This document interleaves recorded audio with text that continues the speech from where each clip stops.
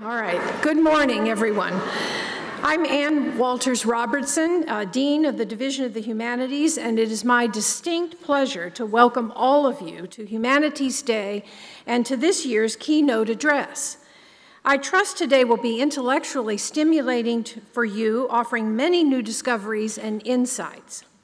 Since 1980, we have gathered every third Saturday in October to celebrate the tremendous scope of our research and insights into the humanities. And every year, the devoted fans who choose to participate in Humanities Day have been increasing throughout the Chicago area. Indeed, over the past 38 years, this community has grown exponentially from the original core constituency that came from the university alone. The expansion of this community bodes well, I think, for the impact and strength of the humanities at the University of Chicago and in the world beyond our campus. As human beings, we are invested in how humanistic scholarship informs our outlook on the world every day. Whether you explore the virtual world of alternative reality gaming or learn about how two University of Chicago professors who understood the patterns of language and cracked the secret code of a German spy during World War I, the humanities connects us to the culture, knowledge, and meaning of what happens in the world around us.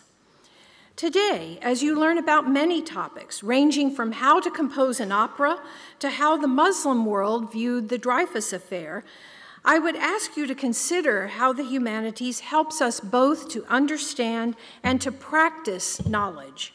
The quest for knowledge never ends, and the elements of that quest, how people process and record the human experience, form the broad foundation of the humanities.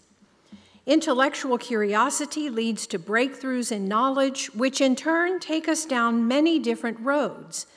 As the multiple presentations held today illustrate, Humanities Day explores the variety of paths that our scholars take. As part of this annual celebration of the humanities, every year we select one outstanding faculty member to deliver a keynote address based on his current research. This year, it is my honor to introduce Christopher Kennedy, the William H. Colvin Professor of Linguistics and Chair of the Department of Linguistics. Chris earned his bachelor's degree in 1989 from Dartmouth College. After gaining his master's at Yale in 1992, he headed west to the University of California at Santa Cruz, where he received his PhD in 1997. After serving for several years as linguistics professor at Northwestern, Chris came to U Chicago in 2003 as an associate professor, achieving the rank of professor in 2010. His specialties in linguistics include semantics and pragmatics. Now, semantics is the study of the human capacity to assign meanings to arbitrarily complex expressions of language, even ones we've never encountered before, Whereas pragmatics identifies how additional layers of meaning emerge in communicative interaction. Well, as you can gather, Chris studies meaning in language, and words really do matter to him. Recently, he has been troubled to see terms such as fake news and alternative facts enter our common discourse. That's where his scholarship on truth comes into play. Chris is keenly interested in engaging the public in understanding the role that truth plays at the most fundamental level in making linguistic communication possible in the first place. And conversely, the role that properties of language play in influencing our perceptions of truth and falsity in our lives and our political beliefs. Like a democratic society, research in linguistics is a collaborative endeavor Throughout his career, Chris has worked closely with philosophers and neuroscientists, as well as his U Chicago colleagues in multiple departments, schools, and divisions. In his scholarship, he delves into a wide range of topics, from quantifiers in English comparatives to Mandarin transitive comparatives and the grammar of measurement. Recently, Chris and his colleague Ming Xiang co organized a workshop with faculty members in the Department of Philosophy. His keynote address, entitled simply Truth, will explore the meaning of truth and the role it plays in thought and communication. He will also tell us why people should care about truth and the role it plays in a democratic society. Please join me in welcoming my always intellectually engaging colleague to the podium. Ladies and gentlemen, Christopher Kennedy.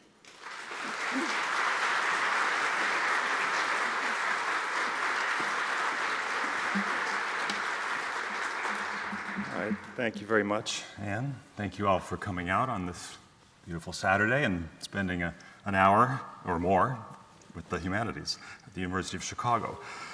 Um, to get things rolling this morning, get a kind of taste of where we're going to go, let's, let's go back to the summer. I think it was the summer. And, and when you tell me that, you know, he should testify because he's going to tell the truth and he shouldn't worry, well, that's so silly because it's somebody's version of the truth, not the truth. He didn't have a, a conversation. Truth is about, truth. I, I don't mean to go like. I, no, I it isn't truth. Truth isn't truth. Believe it or not, I'm going to tell you why that's not crazy, what he just said. Part of the mission for today. But this would be useful to understand the bigger pictures, bigger things we're, we're, we're, getting at by thinking about what on earth Rudy Giuliani could have meant in saying that. Um, so here's a roadmap for today. I'm going to begin by talking about the way that um, linguists understand truth as playing a role in enabling communication in the first place.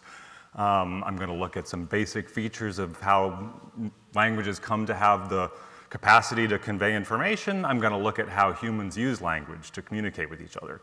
Um, and we're going to focus in particular on a particular mode of communication, which is one that's sort of most relevant for um, the, our own thinking about some of the um, complexities of things like alternative facts these days.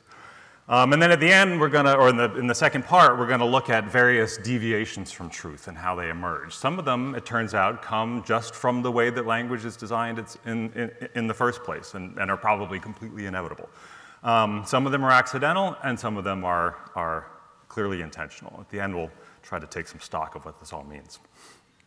So to begin, let's think about the world a little bit. There's a very small part of the world over here on the slides. It's, there's a building in there, there's a person, there's a cat. Of course, the world contains lots and lots more things than that, but we can't fit them on a slide very easily. So we've just got a few things.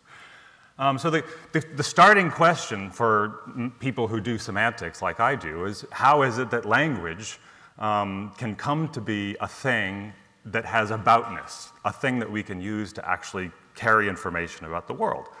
And the answer that we give, the starting point, has a lot to do with truth. So the thought is, when somebody, Anna here, says, Carlos is an American citizen, what I know, if I know the meanings of the words she said, is something about the world. Namely, that the individual Carlos, who is the person in this picture over here, is among the group of things that are the, comprise the set of American citizens. Now, whether he's actually an American citizen or not is in some sense beside the point, because all I'm talking about now is what I know when, the meaning, when, when I know the meaning of what she says. Right? That's a different thing from knowing what the facts are. Um, we're just talking about meaning at this point. We're not necessarily talking about reality. Um, this is a useful picture. The basic thought is the meaning of a sentence are the conditions that the world would, uh, that, that are in, would need to be in place in order for the um, in the world in order for the sentence to be true. It gives us an immediate handle on how people can come to get, disagree about things. So when, when Beatrice says Carlos is not an American citizen, the way that she characterizes the world looks like this. Carlos isn't in that group. Um, one thing we know about the world is that people can't be in two places at once. So these two descriptions are incompatible with each other. X, bad. That's why we hear Anna and Beatrice as, as disagreeing, as saying things that can't both be true at the same time. Okay, this picture of meaning works pretty well for lots and lots of sentences. It works for things like, I'm an American citizen. It works for things like, that was the largest audience to ever witness an inauguration. Um, global warming is a hoax created by the Chinese. It even works for things like, this sentence is false. If you think about that sentence for a while and your head starts to hurt, um, when you ask yourself, is it true or is it false, the very fact that your head is hurting tells you that this is kind of on the right track. Um, but as the philosopher John Austin pointed out, there's a whole bunch of sentences for which this doesn't, didn't, just doesn't seem to be the right way of thinking about them, or at least about their meaning, or, and especially about what they do. So if I'm the right kind of person in the right kind of context, and I say to two people, I pronounce you man and wife, it just sort of seems wrong to ask whether what I said was true or false, right? The point is that I did something in saying what I said. Um, if I'm a, the right person, again, in the right context, and I say I sentence you to five years of hard labor, again, truth and falsity don't really seem relevant. Um, if I say I promise there'll be no new taxes, I apologize for breaking my promise, same thing. Okay? So what Austin pointed out in looking at these kinds of sentences, which he called performatives, is that a crucial part of what we do with our words is not so much talk about truth and falsity and the way things are, but we, we perform other kinds of actions and other kinds of activities that have consequences for social relations, for commitments, for contracts, for any number of things. Um, but what he did that was even more important than that is to observe that that kind of thing is actually what we're doing all the time when we're using language to make communicative acts, in, in, in communicative acts, to perform communicative acts, what Austin and, and other people later call speech acts. Um, and that's going to be important for us in thinking about truth and falsity right now. So let's step back a little bit and see what the nature, what, what Austin's talking about when he's talking about speech acts. Um, there are three essential parts. One part is the, in some ways, the least interesting part, but it, you know, that's not really the right way to think about it. There's all sorts of interesting things going on here. And that's the very produ production of the, of the utterance. So if I'm speaking, it's the production of a sentence like, I promise there'll be no new taxes. It could be an inscription on a piece of paper. It could be manual gestures if I'm speaking a sign language, but it, it is the, the actual activity. That activity is a thing that's a performance of some other thing, which is the, let's call it the meaningful element, what Austin calls the illocutionary act. So when I pronounce those words, I promise that there will be no new taxes in the right situation, I'm making a promise. Um, and the third part is the sort of downstream consequences of doing that. In the case of a promise, that's a commitment on my part, the speaker's part, to take responsibility to ensure some future state of affairs. And there might be other things going on too, involving the hearer, addressees, and other people potentially. So let's hone in even further on illocutionary acts, that part. Um, if we look at the case of promises, we see that they can be decomposed into two parts, one of which brings us back to truth. So here I'm following on the kind of insights of the philosopher John Searle um, and many people after him. So in this case, I promise there'll be no new taxes. There's a part of this that has to do with truth. It's the there are no new taxes part. That part is true if it's false that there are new taxes, and it's false if there are new taxes that has the kind of meaning that we talked about at the beginning. There's, it's characterizing the world in some way. The other part of an illocutionary act of promising is what Searle calls the illocutionary point. And in this case, it's a commitment to the future truth of that blue content, the content that there be no new taxes. But any illocutionary act has this, this, these two parts. There's some part that has to do with truth, and there's a part that has to do with how the, the truth relevant part gets deployed. Any illocutionary act also comes with some conditions that need to be in place in order for these things to do what they're supposed to do. And that's the part that I really am most interested in here. These are called felicity conditions, and the easiest way to see how they, what they are and how they work is to violate them. So I'm going to give you an example of a violation of a certain set of felicity conditions here. Some of you may be familiar with this particular example. I declare Bankruptcy!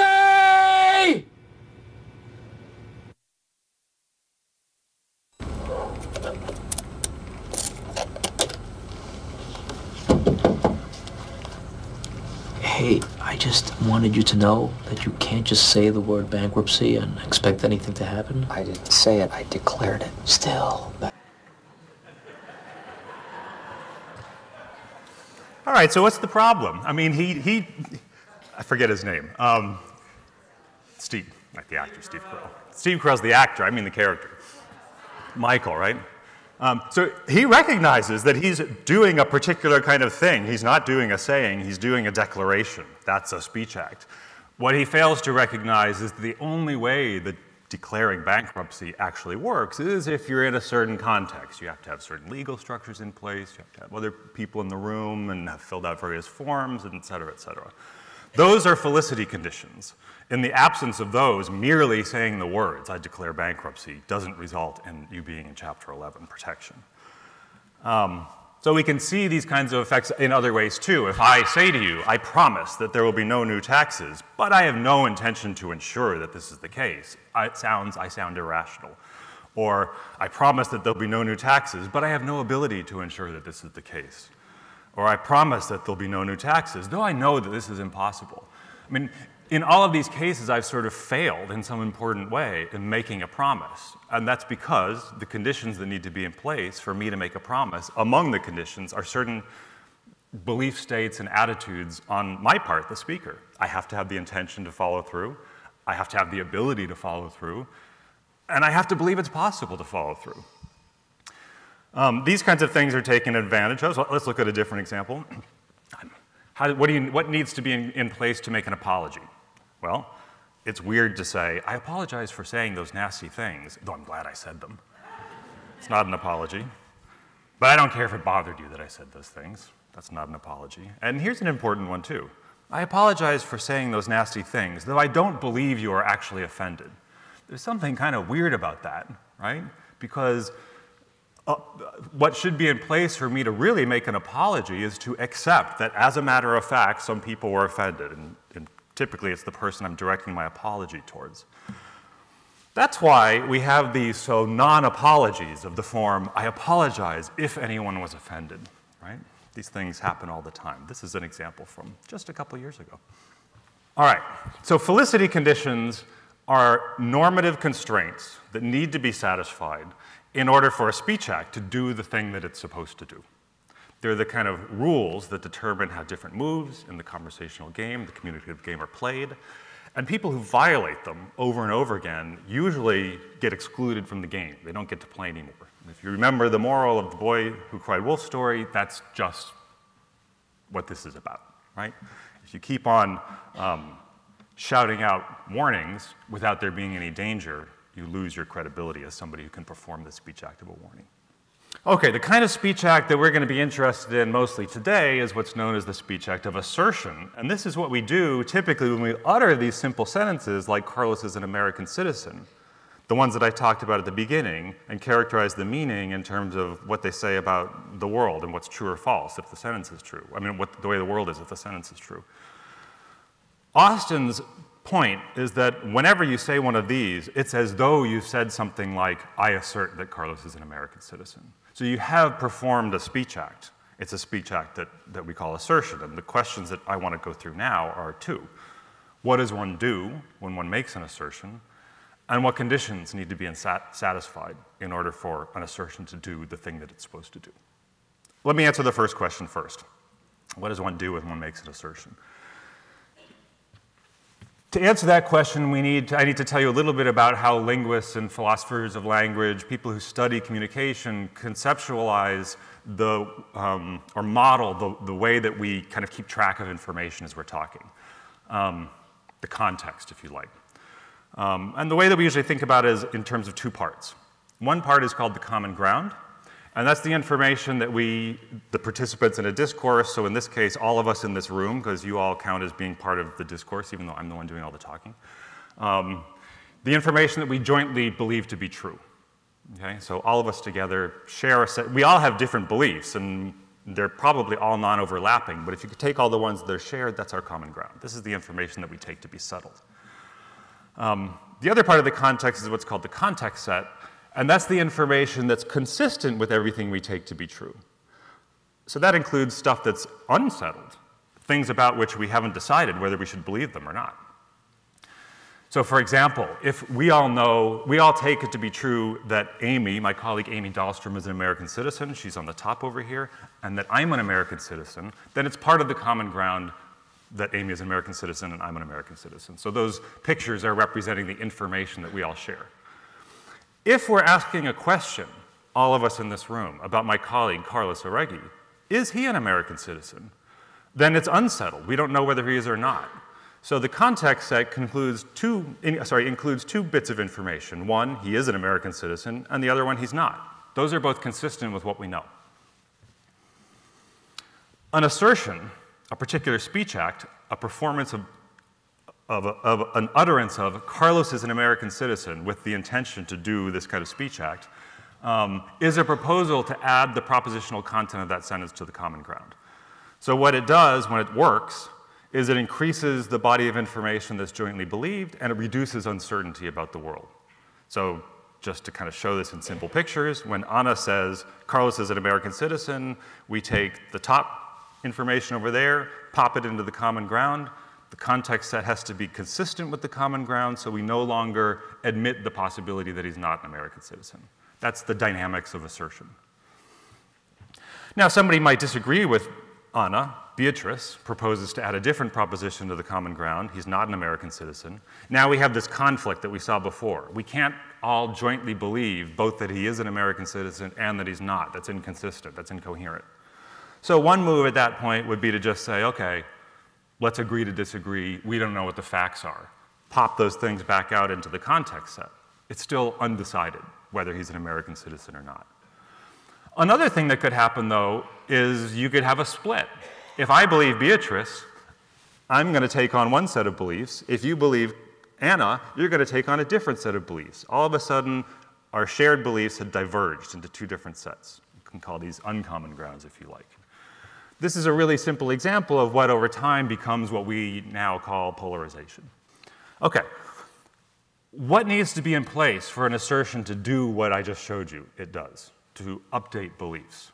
Um, three things, and I'm going to show you, we're going to go through, I'm going to illustrate these conditions again by examples, both by showing places where they're obeyed and showing places where they're violated. So the two of the key conditions are that the speaker should believe what she's saying is true, and the speaker should have some reason, some evidence for that belief.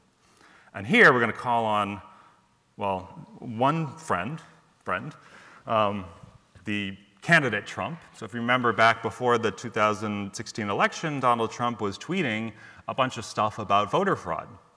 And if we look at these tweets, you can see there's some assertions in there. Oh, there's large-scale voter fraud happening on and before election day.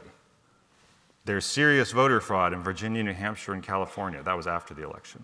Okay, those are assertions. Those are proposals to add the content of that, those assertions into the common ground. There's other kinds of speech acts in here too. Um, why do Republican leaders deny what's going on? That's a question. So naive. That's an exclamation. If you look at the president's tweets, they sort of have they have this structure a lot of the time: assertion, question, exclamation. Sad. Um, we can, we'll talk about those later.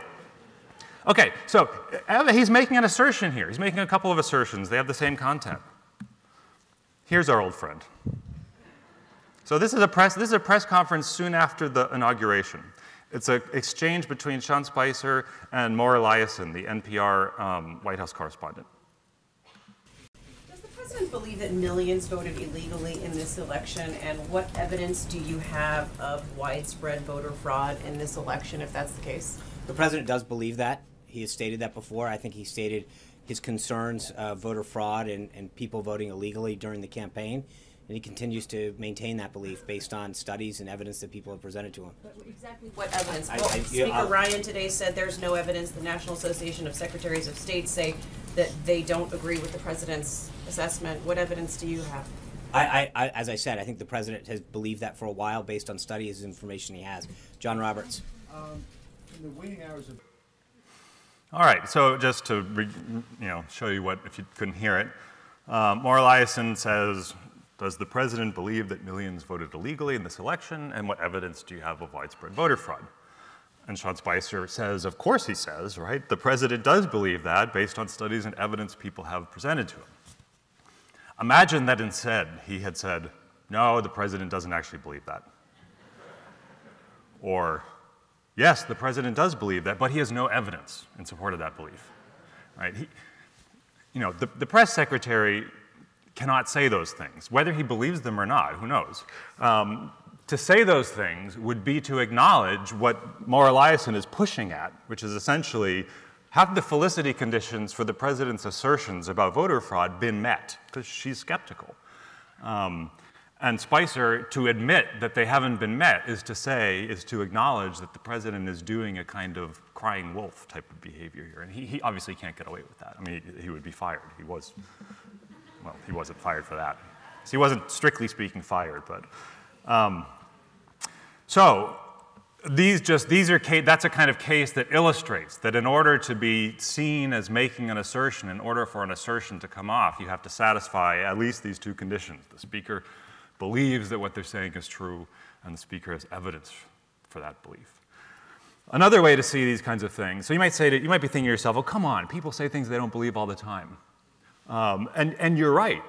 And not only that, but we say things that we don't believe to be true precisely because we know that in saying that we're going to be caught and we're going to communicate somewhat something else in virtue of being caught, in virtue of clearly violating this rule.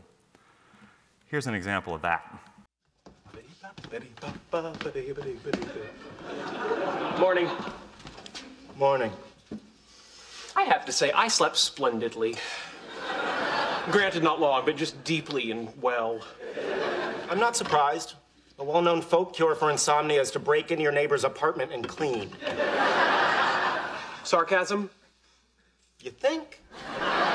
Granted, my methods may have been somewhat unorthodox, but I think the end result will be a measurable enhancement of Penny's quality of life. You know what? You convinced me. Maybe tonight we should sneak in and shampoo her carpet. You don't think that crosses a line? Yes.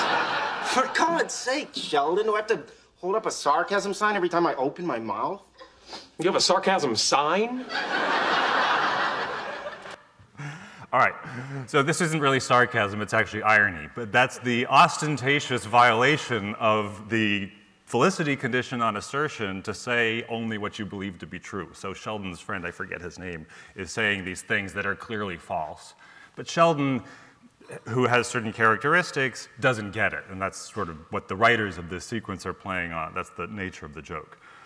Um, Another kind of condition on assertion is non-redundancy. We shouldn't say things that everybody already knows to be true. And this is another case, another kind of condition that's often violated for a particular kind of communicative effect. Um, so some of you may remember this. This is an old commercial for Castrol Motor Oil.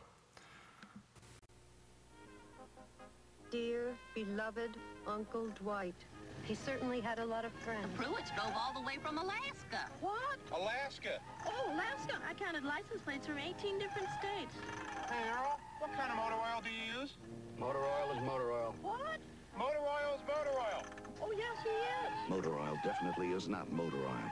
Four-cylinder cars work harder and need specially formulated Valvoline 4-Guard. Don't drive your car to an early grave. All right, so, okay, so the situation, driving the car, the smoke is coming out, what kind of motor oil do you use? Oh, motor oil is motor oil. Okay, that's true. That could not fail to be true, right? It, it, could not fail to be true that motor oil is motor oil. So in saying something that's a tautology like that, you provide no information. In presenting yourself as asserting something that cannot fail to be true, you add no information to the common ground.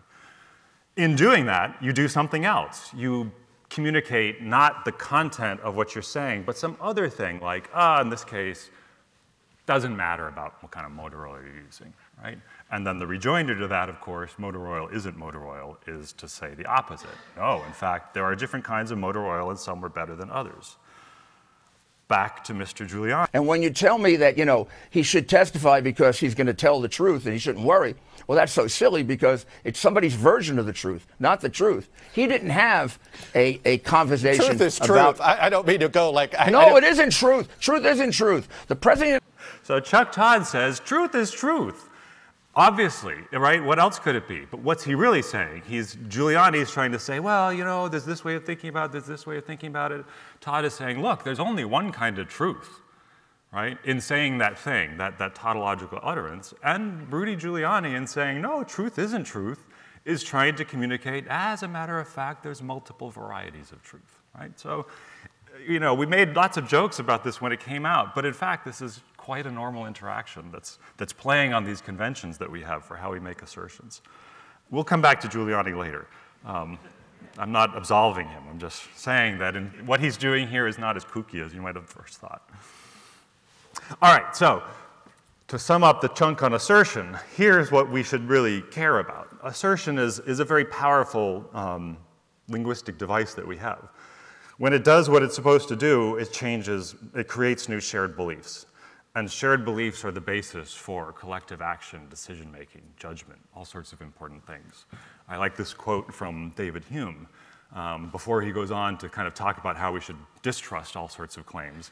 He points out that for most of our interactions, it's really crucial. Um, there's no species of reasoning more common, more useful, and even necessary to human life than that which is derived from the testimony of men. That's meaning beliefs that we form by asserting things to each other.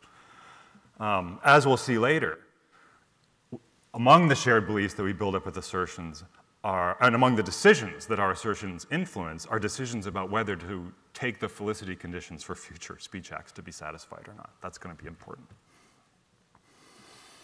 Okay, now, again, just to summarize, belief and evidence conditions on assertion are these normative conventions. They underwrite assertion's power to do what it does, that is to change belief, and it regulates its application.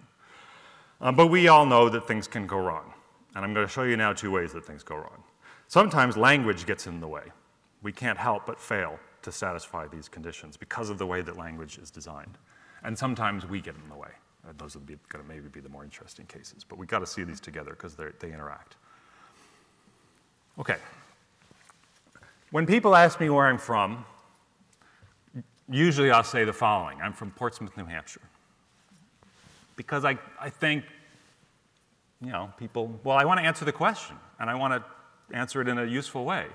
But in saying this, um, I'm actually saying something that's false. Why am I doing that? Um, well, if we, you can see Portsmouth there, right there down in the bottom corner on the seacoast next to Maine. If we zoom in on a Google map, I'm going to really need my glasses for this. We zoom in to about half the size, less than half the size of the state. There's Portsmouth right there, but you still can't see where I'm from. It's not on the map. So we zoom in again. There's Portsmouth, but you can't see where I'm from. It's not on the map. Sad. Sad. We zoom in again. There's Portsmouth, and finally you can see where I'm from. It's called New Castle right there. It's this little island right there. It's very small. So it's a, there's, there's the, that's one mile. So you see it's like less than a mile across or around a mile across. So why don't I say I'm from New Castle, New Hampshire? Because nobody knows where it is. Nobody knows where it is. And usually it's, you know, I, the amount of work it would take to kind of go through an explanation to say exactly where it is is not really worth the effort of answering what the person wants to know when they ask me where are you from. Most people many people at least know where Portsmouth is because you know candidates go through there every four years during the lead up to the presidential elections. You've got to go to New Hampshire, et cetera, et cetera. So that, that does the job just fine. Um, lots of what we say is like this. When I say I'm from Portsmouth, New Hampshire, I'm six foot three inches tall, I weigh 175 pounds. There are, well, not, maybe there are 300 people that talk. Mandel Hall was full, et cetera. In other situations, this might be useful. Um, I wouldn't say those. I wouldn't say those today.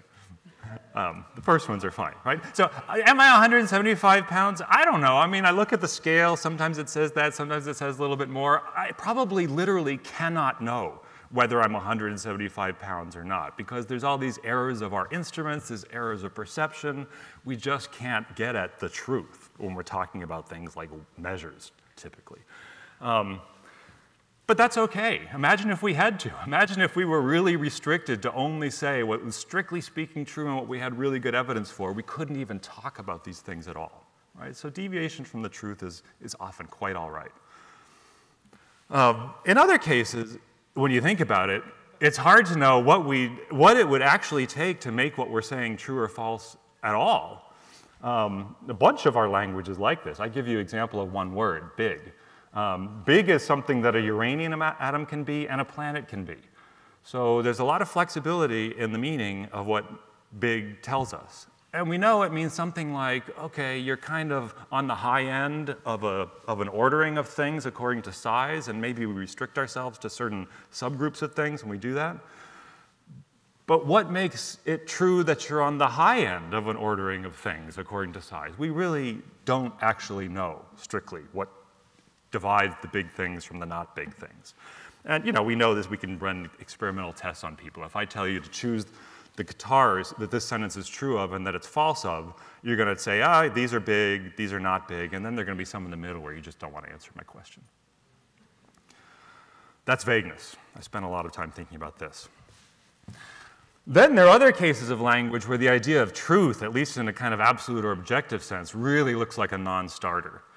So when I say Tokyo is fun, sea urchin is tasty, or Toshiro Mifune is the best, or Japanese is hard, it seems like I'm not really telling you some fact about the world. I'm telling you something about my own perspective or taste or take on things. Um, this is a picture of the great uh, Akira Kurosawa film Rashomon, which runs through four or five, I can't remember now, different perspectives on the same event, and we never know exactly what the right perspective is. Um, and you might think, okay, well, this kind of language, big deal, who cares? We, you know, everyone has their own taste. But a ton of our language is like that, and in particular, a language involving really important words. So Lee is rich, therefore we should, he should pay more taxes. Um, that building is beautiful, therefore we should preserve it. The information is credible, therefore we should act on it. Abortion is wrong, therefore we should outlaw it. Okay, we make really important decisions using language that has a similar flavor of perspective dependence or subjectivity. Um, for which it just doesn't, at least it seems very difficult to imagine how you could say what it would mean to make, th- make the world, uh, what it would mean to make these sentences true or false, what the world would have to be like. Okay, now there, I, I don't want to say there's a, it's impossible. There's a bunch of really interesting work that tries to answer that question. I'm not going to try to do it here, that's a whole other talk.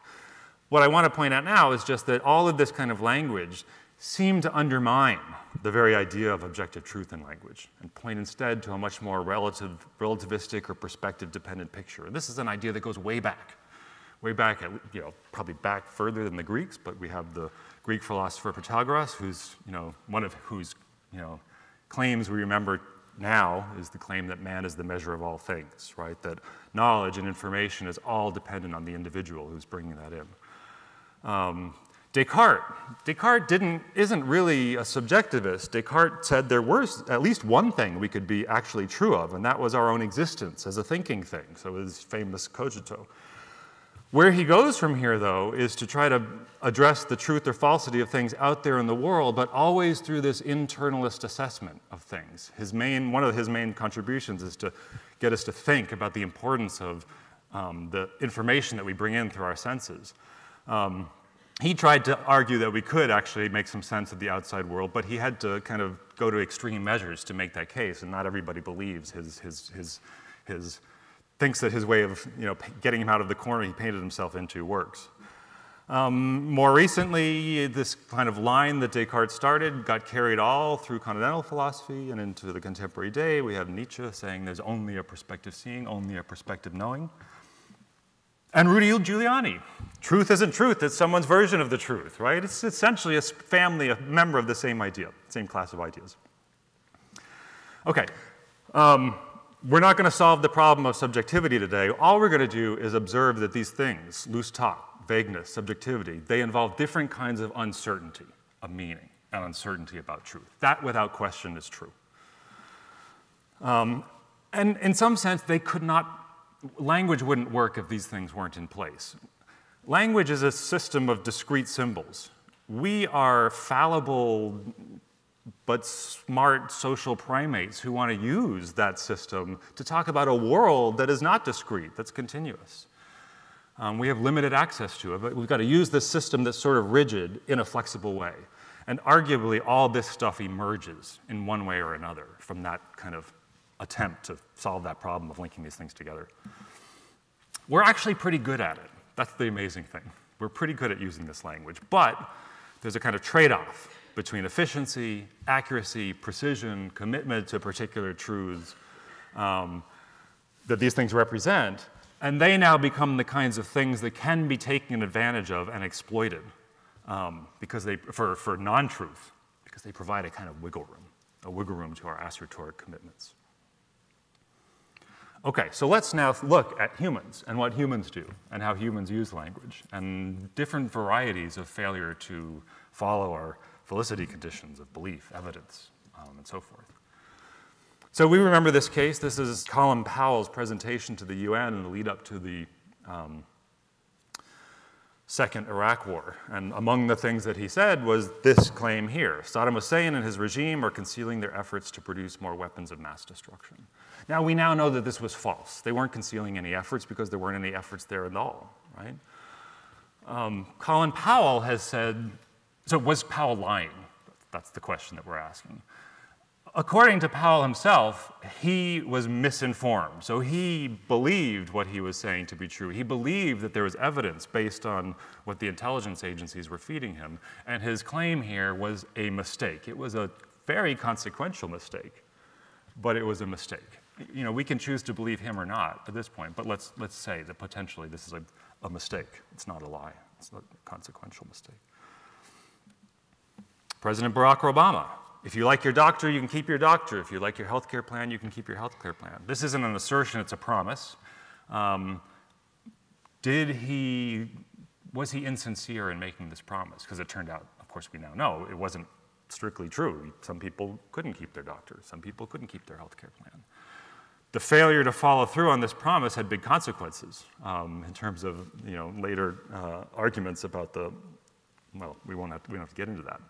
But as far as we know, he was sincere in making this promise. It just turned out that he couldn't, couldn't follow through. Okay, so these are failures and mistakes, but they're not obvious violations of the kinds of conditions for assertions or promising. We have to listen to this one. But I want to say one thing to the American people. I want you to listen to me. I'm going to say this again. I did not have sexual relations with that woman. Ms. Lewinsky. I feel actually bad. I didn't realize the Clinton Global Initiative was going to be here later, but.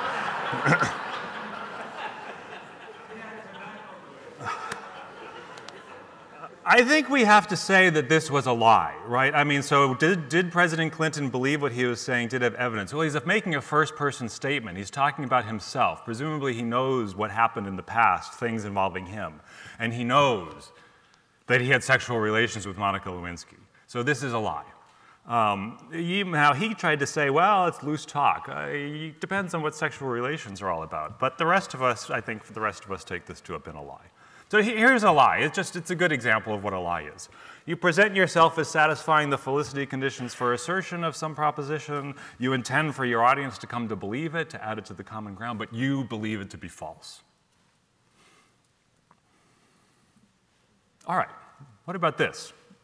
The concept of global warming was created by and for the Chinese in order to make US manufacturing non competitive, 2012. There's no public evidence that the Chinese created the concept of global warming. President Trump hasn't pre presented any evidence. He may have such evidence, he may not. He may believe that global warming, he may, he may actually believe that global warming is a, a hoax. But all of this really seems to be beside the point. Really, it seems that his point in uttering this is to kind of get people to kind of err in one way and not in another way, right? His goal is not about truth at all. This is bullshit. so, liars have beliefs about the truths of the propositions they assert. And the liar aims for the audience to come to adopt the opposite belief this, they have a stance towards truth and they have a goal. This is what dis distinguishes lying from bullshit. So this is a technical term due to the, the philosopher Henry Frankfurt. To bullshit is to make an assertion in which you present yourself, again, as satisfying the felicity conditions for assertion. You intend for your audience to come to believe that that thing is true and add it to the common ground, but you don't have any stake in the game as far as truth goes. You don't care whether it's true or false. The aim of the bullshitter isn't really truth or anti truth. It's not illocutionary, it's entirely perlocutionary. All you care about is what the results of your audience taking on this will, belief will be. And maybe in this particular case, it was to get people to kind of think along a particular lines that would support some agendas later on. Or why, why do people, why does this work? Well, um, bullshitters, good bullshitters and good liars succeed by exploiting the principles that make communication work in the first place. They expect people to accommodate the belief and evidence conditions for assertion by saying things that they think are going to align with what people already believe. Um, and they take advantage of the wiggle room of linguistic uncertainty. So here's a, here's a case study. This was from an article in the New York Times uh, a couple years ago, or not that long ago, but a year and a half ago. Um, it was a profile of this man here, Cameron Harris, who um, produced all these fake news pieces. And one that got a lot of hits, it was an, for an online, online magazines, was this one that said that um, there are a bunch of boxes of fraudulent Clinton votes in an Ohio warehouse.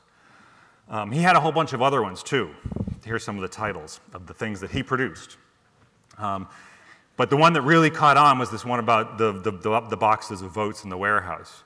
And he, in the article, he's very clear. You know, my, my point in doing this was to get people to, to get a lot of clicks on my news feed so that I could then sell my, the, this particular news feed that he was setting up and pay for law school. This is what he said in the article of the Times. He wasn't really, obviously, like interested in necessarily supporting Trump or supporting or not supporting Clinton. He wanted to pay for law school by selling at a time at which his things had lots of clicks, which I guess is what one does. But how, why did he think that these things would work? This is the telling part. I had a theory when I sat down to write it. Given the severe distrust of the media among Trump supporters, anything that parroted Trump's talking points, people would click. Trump was saying, rigged election, rigged election. People were predisposed to believe Hillary Clinton could not win except by cheating. So he's taking advantage of the fact that there is this set of beliefs out there that form a common ground for a group of people who are then going to see his claims as being in line with the evidential and belief-based conditions on assertion and follow through and, and, and respond to his assertions with these clicks. So another kind of thing that we see, and especially in, in the president's tweets, are some of these, these, these cases that make use of, the, of sort of loose talk. So if you remember um, a couple years ago, I, I, guess it was the winter after he was elected, there was um, this discussion about whether, you know, people had been spying on him in, in his offices in Trump Tower. There's this tweet here. Just found out that Obama had my wires tapped in Trump Tower just before the victory. Nothing found. This is McCarthyism. And he got some flack back for this because he says, well, no, they didn't tap his wires. That's illegal. It sounded like he was accusing the former president of illegal activity. Um, but later on, he said, well, nobody paid attention to the fact that I use quotation marks around the phrase wiretapped, which means that I, that doesn't, you shouldn't take me literally. I'm just meaning, you know, maybe they were kind of doing something that involved collecting information, a whole bunch of different kinds of stuff. Um, you know, Mexico will pay for the wall. Did he really mean that Mexico will pay for the wall, or did he just mean in a kind of loose way that Mexico will contribute somehow? This is loose talk. This is taking advantage of loose talk. So when somebody comes back to you and says, Do you really believe what you said? Do you have evidence for this? You can kind of fall back and say, Well, you, you took me to be saying something that I wasn't actually taking. I wasn't actually saying. All right, so wrapping up. Um, what these, we could look at many, many more examples of these, but we don't have all day. But these kind of point to the following conclusion. What the, everybody who makes an assertion, the truth teller, correct truth teller, the truth teller who's actually not telling truth because they're mistaken, like Colin Powell say, the liar, the bullshitter, all rely on is being seen to be in accord with the felicity conditions on assertion. If you're not seen to be in accord with these conditions, people ignore you. That's the boy who cried wolf. The way they do this is by directing their assertions towards an audience whose common ground is in alignment with the felicity conditions on the assertions. And so they one way of doing this. Uh, that's one, one important feature. And the other way is to take advantage of um, these different kinds of linguistic or epistemic uncertainty. Here's the important thing. When we accept an assertion, whether it be truth, whether it be a lie, whether it's bullshit, it updates the common ground in a way that brings that common ground even closer, in, into even closer alignment with assertions that have comparable felicity conditions. And it brings it farther away from alignment into another set of shared beliefs that have conflicting felicity conditions. So that enables more bullshit in one direction and resists it in the other direction. And This is what I was pointing out earlier when we were talking about polarization. Now, you know, it would be a totally reasonable response at this point to say, well, you know, hasn't this been going on forever? And, and I believe it must certainly have been going on forever, as long as people have been talking. We've always been lying, and we've always been bullshitting. In fact, if any of you know the famous um, Turing test, it's a test for intelligence. Can a machine think? Well, what did Turing say? See if it can lie. That, that's effective. That, that, at the end of the day, is the nature of the Turing test. It may be that lying is one of our essential human capabilities.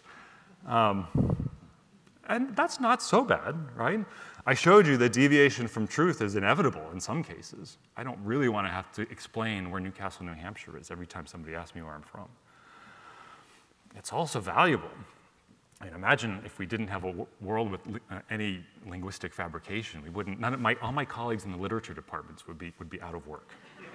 Um, and, and I at least wouldn't like that. Um, so, but here's the thing what's special about now is that the sheer volume of speech acts being performed at all times, over and over, by quote unquote interlocutors who are at a greater and greater remove from each other, potentially across the globe through the internet, um, against a backdrop of ever diverging common grounds or uncommon grounds is tremendous. That, that's, in my view, the, the central difference between now and any time before now. Um, that's a thing that none of us understands, I don't think, at this point. Um, of course, the optimistic side is that people said the same thing, you know, probably when the printing press was invented, when writing was invented, which kind of had similar effects, and we solved those problems, so maybe we'll solve this one. But in the moment, we should be concerned. We should be concerned as much with the consequences of lies and bullshit as with their effects on these core sets of shared beliefs that make communication possible in the first place. And I'll leave you with two like illustrations of each of these potential worries. The first we can call Cleopatra's remorse.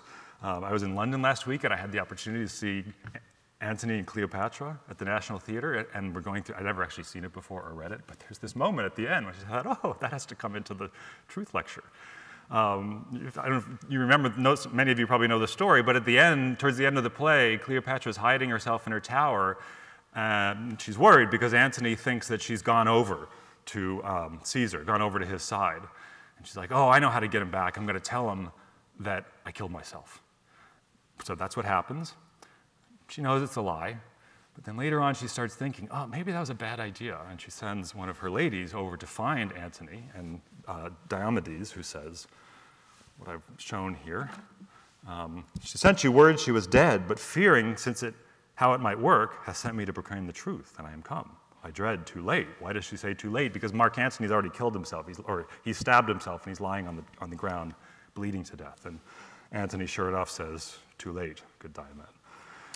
So the things, the beliefs that we take on affect our decisions, affect our actions. In this case, Antony's belief that Cleopatra had killed herself led him to attempt to, to, to, to stab himself. Um, that was a, unfortunate for Cleopatra.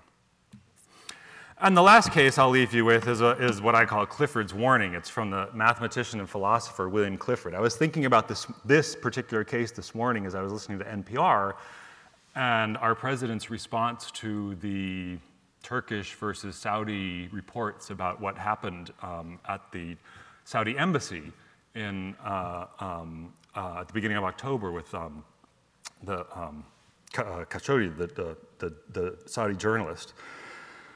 Clifford says, the danger to society is not merely that it should believe wrong things, though that's great enough, but that it should become credulous and lose the habit of testing things and inquiring into them, for then it must sink back into savagery. And so there, if we wonder whether it's okay to accept, we, you know, now with the, in the case of the Saudi, uh, the, the Saudi journalist, we have two lines to believe. One, he went into the embassy and he was murdered. Another one, he went to the embassy and got into a fist fight, and uh, you know, things, things go wrong in fist fights, and he ended up dying two different kinds of assertions, one of which could believe, be believed and one of which could be, not be believed. One of which you can get behind, as, say, the President of the United States, or the other one you could get behind as the President of the United States. And you know, it makes a difference as to whether we take on things that we jointly and in a shared effort believe to be true or not. It makes a difference into how we go on and reason and communicate uh, after that. That's the end.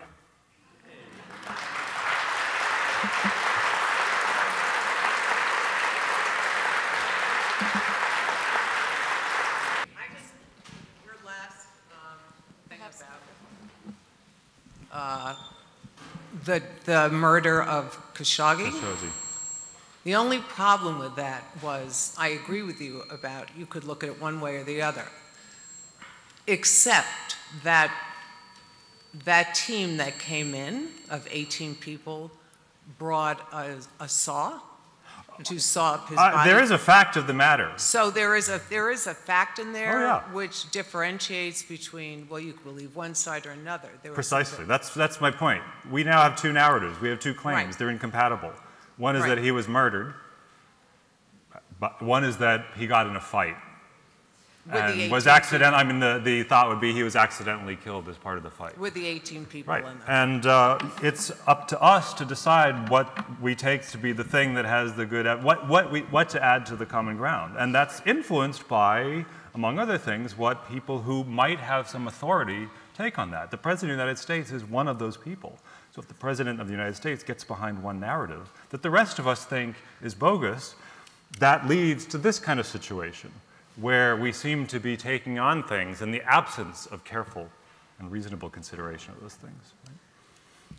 So why President of United States lying all the time? About 3,000 times in two years or something like this. And second question, does its behavior making United States closer to some kind of fascist country where you're supposed to lie all the time? Um, so the answer to the first question, obviously, I don't, I don't know. Um, the two questions: Why does the President of the United States lie all the time? The second question is: In doing that, does that push the United States towards becoming a fascist country? Um, so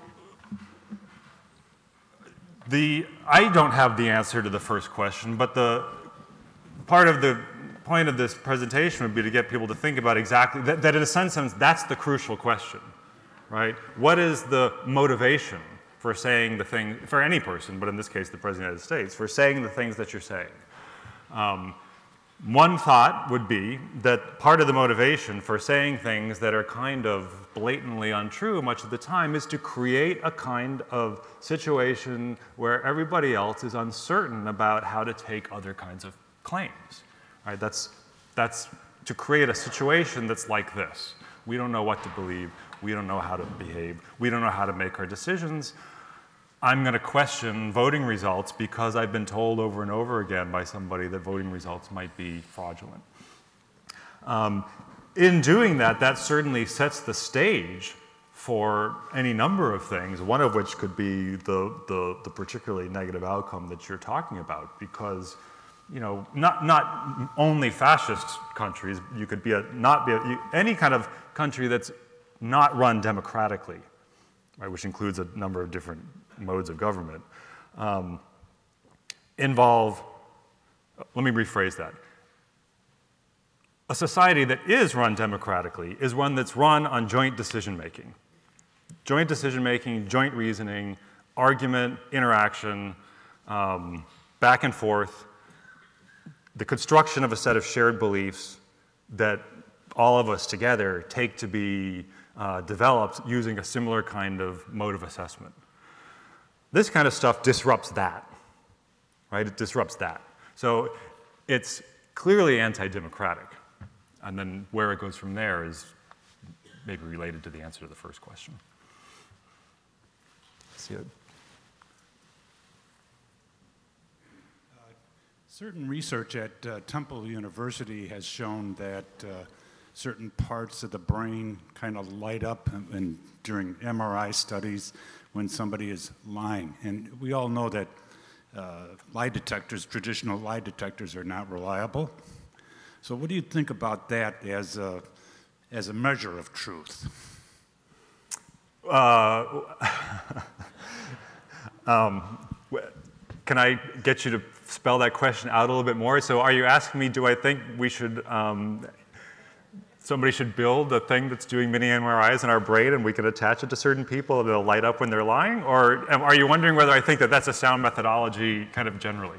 Well, how about this? If, is, is there some way of really measuring truth? measuring whether somebody is saying something actually true. Do you think it's possible at some point No. in the future that we could do that? No.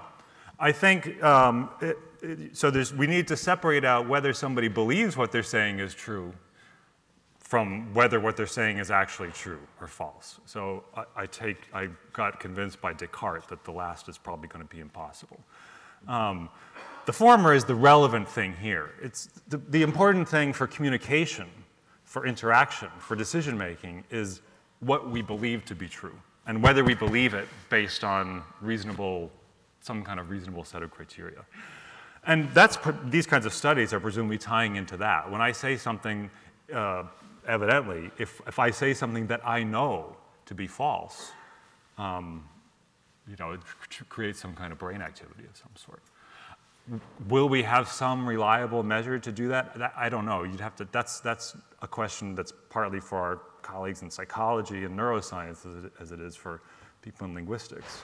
Um, my guess is that you know, they'll always be really good liars. Um, but, but, you know, it's just, I, it, I don't want to be too facetious about that because actually, when you think about it, we, uh, this is something else that Hume said.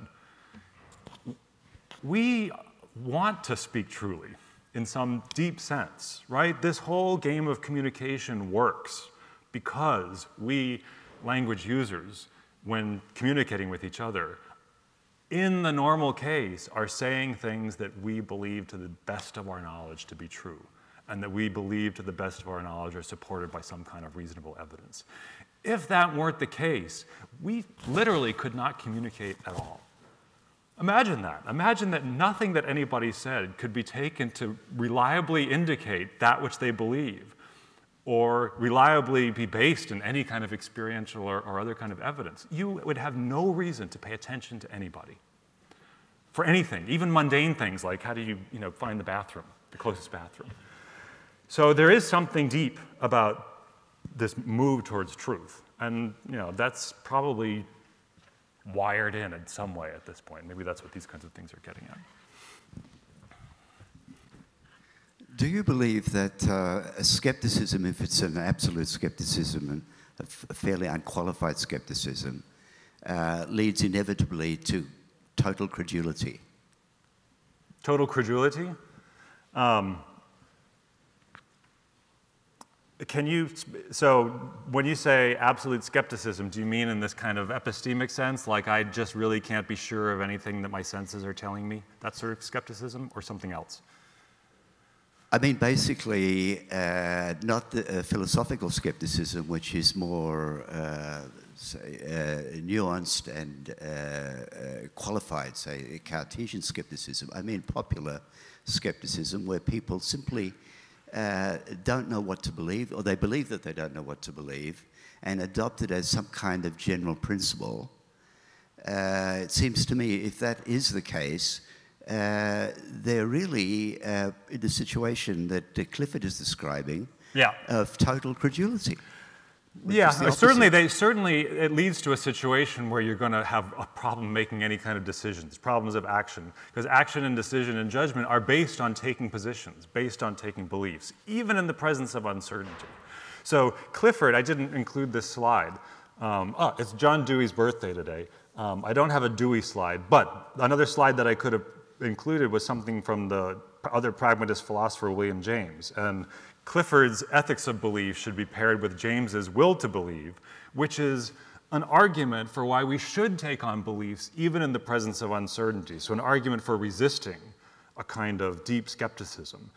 And it's a very thoughtful argument about the kinds of conditions under which that makes sense. And that, of course, that is the way we lead our lives. We are not certain about most of the things that we do about most of the, the, the, the beliefs that we have. Um, if you are, you know, people eventually don't want to talk to you anymore because you're, you're a dogmatist. Um, so you're right, we must be, in some sense, non skeptical. Um, but at the same time, we don't want to believe everything we hear, clearly, right? Um, that's it. So I, I don't know. I, my, my sense, for what it's worth, is that he's more of a bullshitter than a liar. Um, but I wouldn't want to yeah, I'm not. I study language. I, don't, I mean, I study people too, but more it's language. But the latter one, do I think it's worse? I do, I do believe, and here I'm influenced by, uh, let me go back to our bullshit definition, um, Harry Frankfurt's discussion of this. I mean, the thought here is that in, in, you know, whereas the liar has an attitude towards truth and falsity, and often has an interest in whether things, how things actually are, that is relative to what the kind of information they're communicating.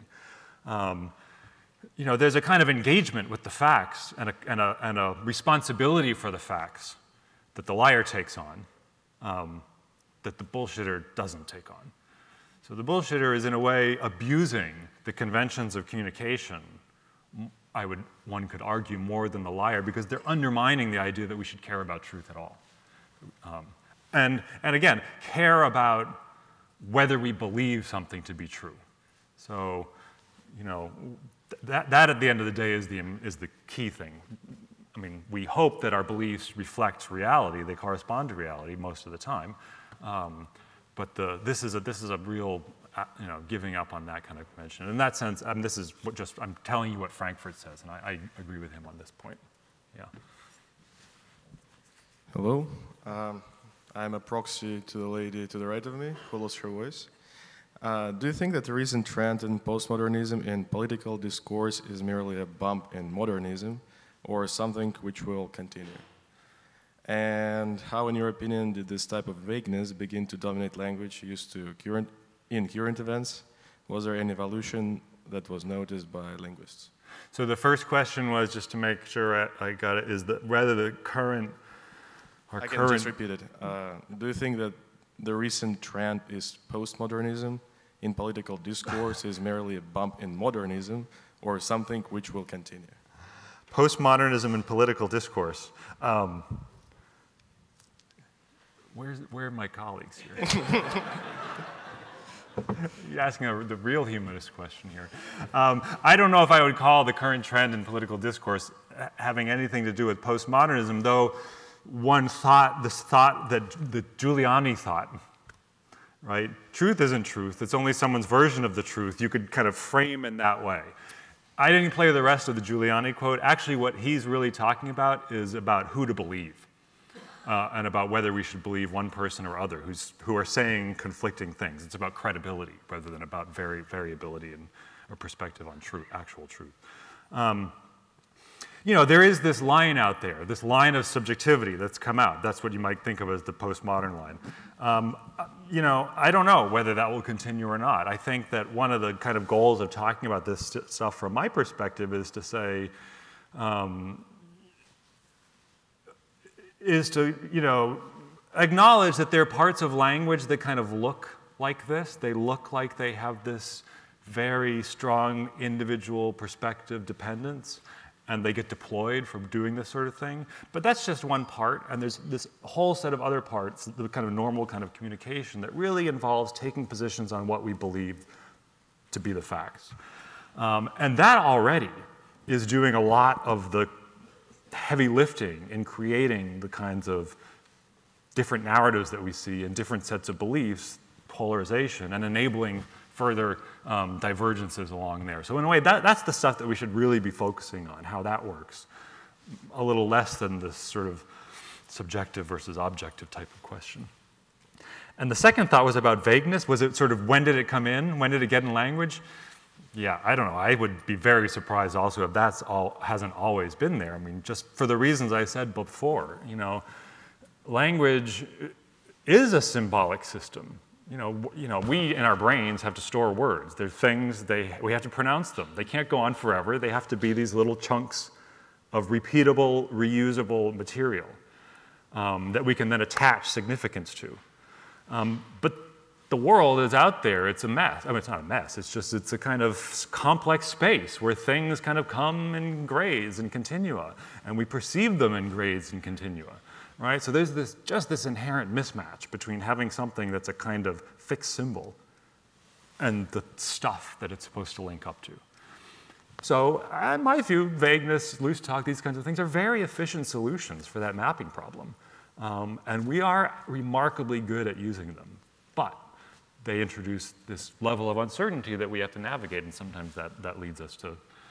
It, it's a thing that can be taken advantage of and that can be exploited for this kind of stuff. All right, the dean says it's time to, for me to say thank you um, and enjoy the rest of Humanities Day.